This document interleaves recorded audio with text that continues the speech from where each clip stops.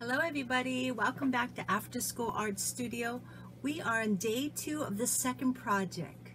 Yesterday we went outside to the side of my house where I have a lot of different kinds of plants and we went searching for plants that had different shapes and plenty of texture on the back. We were looking for these plants because we wanted to use them for printing. We came back into my house and then we got my markers out and we used the markers to apply color to the back of the leaves and then we printed the leaf with the ink um, onto copy paper. We used two kinds of copy papers, the white and another color, as well as brown paper that I had. Um, I don't know when I got that paper bag, but I had it somewhere. So today we're going to work on the next step. Hopefully you cut your leaves out and these this is how it looks I want to say my goodness the leaves look so beautiful when they're cut out because there's even more focus on the edges. And of course if you look really closely you'll start to see all the detail and the combination of colors. So we're going to use these leaves to create our art piece. So today what you're going to need are the leaves that you cut out as well as glue and your Sharpie. I want to say thick and thin. So extra fine or ultra fine point and fine point. All right, so first of all, you're going to figure out which leaves you want. You're going to experiment with arrangement. As you're placing it on the paper, I want you to make sure that two of the leaves are partially off the page and two of the leaves are overlapping in two areas. Okay, so when you're placing it down, this part, this leaf is off the page, this one is off the page, and then so that's required two off the page. And then two of them need to be overlapping. So I'll place this this way. Oh look they're talking to each other. Here. I think I will overlap this piece here and then I will overlap this piece but I'll face it downwards. There we go. You can look at it and say I think I like this. I go hmm maybe not. So maybe I want to switch this around here. This is going to still stay partially off the page and this one is going to go I think I want it to go downwards there. There we go so actually I used all my leaves. Uh, maybe you have more leaves. You don't have to include them all, but I want to say you should at least use eight leaves. There we go. Okay, once you're happy with your placement, let me review again. Two of them have to be partially off the page and two of them have to be overlapping one leaf on top the other. You see, it doesn't have to be totally, but at least partially. These two are partially overlapping, one on each other. Okay, once you're happy with the arrangement, then you start your gluing. So here we go, here's my Elmer's glue. And be um, conscious of, you see this leaf here? This part of the leaf is gonna hang over, so I'm not gonna put glue on that part. So you don't need a lot of glue because this paper this paper is so light. It doesn't need half the bottle of glue. So making sure that all the edges are glue um, glue has been applied to them and you really don't have to put any glue in the center because this leaf is so light or this paper leaf is so light it doesn't probably need that so here we go. Where's the part where I didn't put glue on? So remember this one is hanging off the page. So I'm going to have the part where I didn't put glue it's hanging off the page and the rest is going to be glued down. Be really careful because this paper is so thin this copy paper it's easily ripped. So there we go. Another piece. This one is a little trickier. I got to remember the spot. I'm to move this guy down. Once again, this guy, he's totally glued down. So I'm just going to put glue all over the edges and everything. The edges are really important because you don't want those edges to rip. Okay. And then I think it was right about here. And then remember, this is the one that's overlapping. So I'm to get this pointy guy.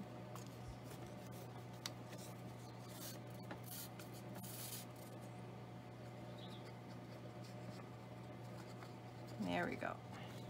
Okay, whoops, my glue bottle. Okay, um, I think this has changed, but I like it changed. Hmm, how should we do it? Well, I'm just going to do it this way.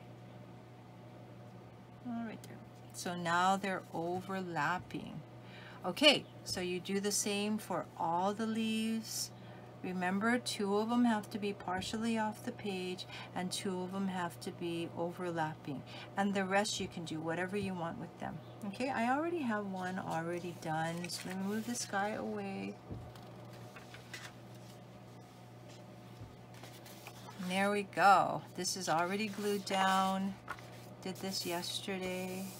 So now you're going to have to flip this guy over because remember we have some that's coming off the page. In fact, I made three off the page. This, this, and this, right? So get your scissors. Did I say we need scissors? We need scissors.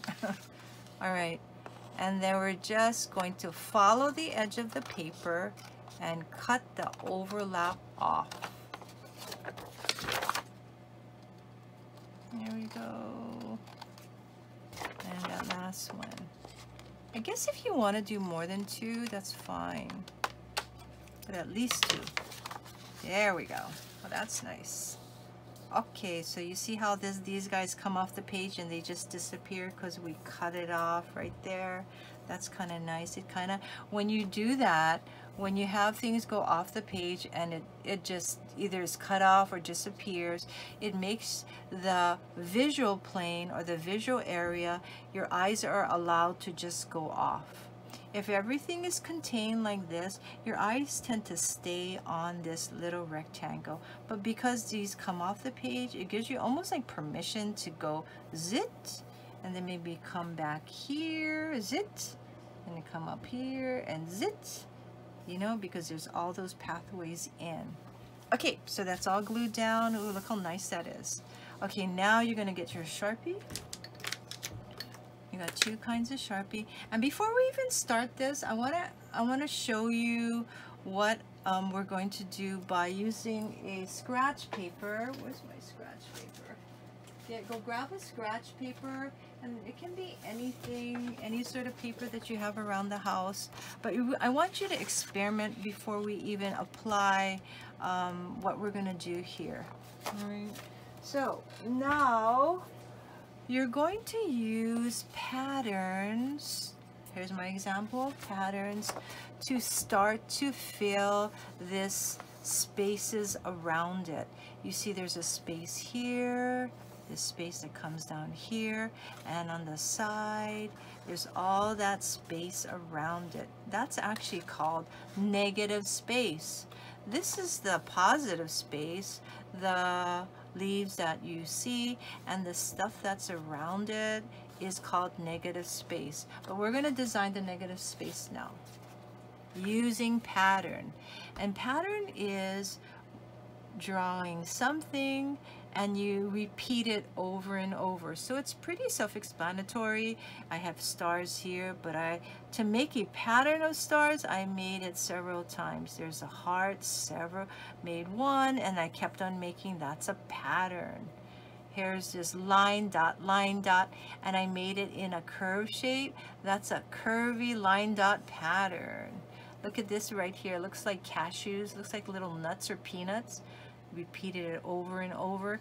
Even the number five, I put it close together, repeated it over and over. Now that becomes a pattern. So you're gonna figure out patterns or which patterns you want to fill this negative space. Okay, first we're gonna just try things out. So something as simple as like a grain of rice can be a pattern. The grain of rice is not touching each other. That is a pattern because I'm just repeating it over and over. There we go. You can use that same pattern and make them close together, have them touch each other, and it looks really different. Oops, that's a big blob thingy. It looks different when it's touching each other. Comparing these two here, and that's that skinny Sharpie. Now I'm going to try and use this thick Sharpie. Oh, that looks really different. Using that thick Sharpie far apart and then close together. Oh, so when it starts touching, those the black that's around it just looks like negative space. There we go. So play around with this a little bit before you even start so you kind of get an idea of what's happening before you start experimenting on your beautiful artwork. Okay, so experiment on your scratch paper and now we're going to get our artwork and start. Now you're going to look at areas and figure out where do I want to stop? You know what? You might want to plan it first or you might just want to start and don't even plan and figure it out as you go along. Do not first use a pencil and then use a Sharpie. I want you to only use a Sharpie. So I'm going to use that grain of rice idea. So right on the sides or the negative space of this piece, it's really like kind of what you might think of a background because the subject matter is the leaves and this is the negative space around it. So I'm using that grain of rice pattern and I'm filling this little area here. Ooh, look at that. That's nice. When you put that, when you make a pattern, it starts to have texture to it. Ooh, that's really nice. I think I'll make the grain of rice start poking through here and then he starts emerging to this side.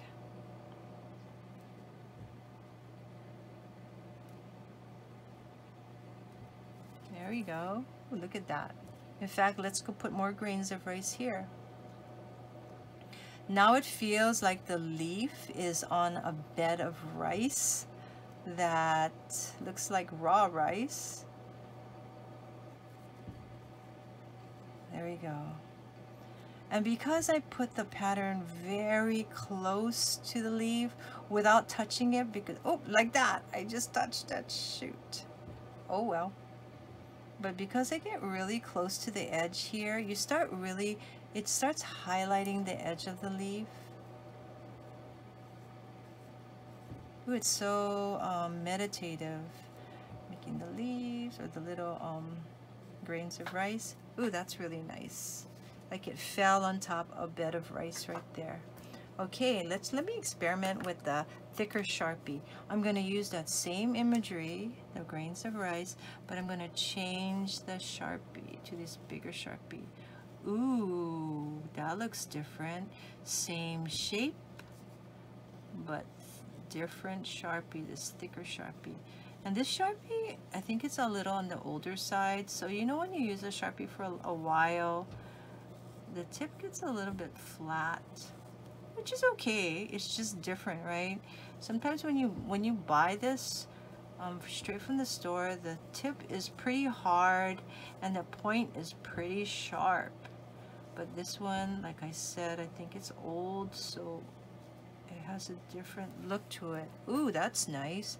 Super strong. I'm to bring it around here to the other grains of rice. All right, keep on going, keep on going. Ooh, beautiful. Okay, think of another pattern. That grain of rice is a really easy one to use. Um, you can just use some lines. In fact, yeah, let me just use lines. Hey, look at the stippling. You can just use dots. Let's use some lines, right?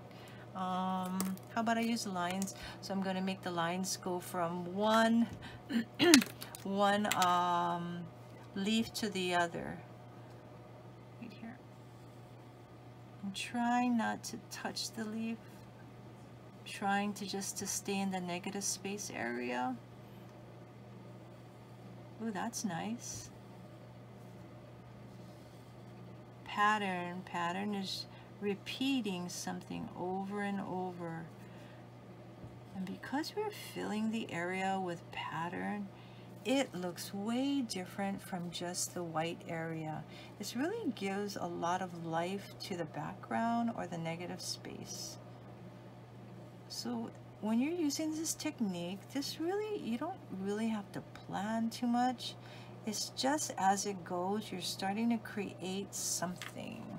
Ooh, I like that. I'm going to continue this. And look at that. It's just lines. All right, I'm going to change it to make the skinny lines. But I'm going to bring those skinny lines really close. Ooh, it kind of reminds me of a zebra. Ooh, when it gets to this part, I'm going to curve it to this guy. It has kind of an arch to it. See what I did? Like no planning. I just felt like doing it. So now it looks like the strings are falling to the other side. It almost looks like the gills of a fish. Ooh, that's nice. And then I'm going to bring it down here. Trying not to touch that leaf so you don't have like dots in the end of the leaves. Takes a lot of control and concentration but so fun. I want to say it's so meditative. Okay, let's try one more pattern. Hmm, which one should we do? Swirls? Let's do swirls? Okay, let's do swirls. Or let's do something angular, like um, maybe these squares. Let's try that. Okay, let's choose this area down here. So I'm going to make those squares. Now, you, you saw that poster that I have? You don't have to do any of that. You can try to create a pattern using uh, something drawn um, from your imagination. Or sometimes when you just go out to nature, you'll look and see there's pattern there. Plenty times when, a lot of times when you're wearing a t-shirt, you just look down on your t-shirt and hey there's some pattern there next to the, like the Nike swoosh or something. Sometimes that happens. You, if you start to know what pattern is then you'll start observing that there's plenty of pattern around us in nature in advertisement on a plate that you're eating from. There's plenty of pattern everywhere ooh that's really nice and it's kind of cool because it's angular, but everything is curvy, organic from nature because the leaves are all curvy. But now you're bringing in this really, these things with corners. It gives a little bit of tension and a different feel. Okay. So now we, so I want you to fill this whole background with pattern. See, you can't stop, right? And then that'll be the end of the project. So let me show you um, the finished product. Well, let me show you um, what I would do, but I'm gonna speed up the video so you don't have to just watch me make my pattern so slowly. Okay, watch what happens.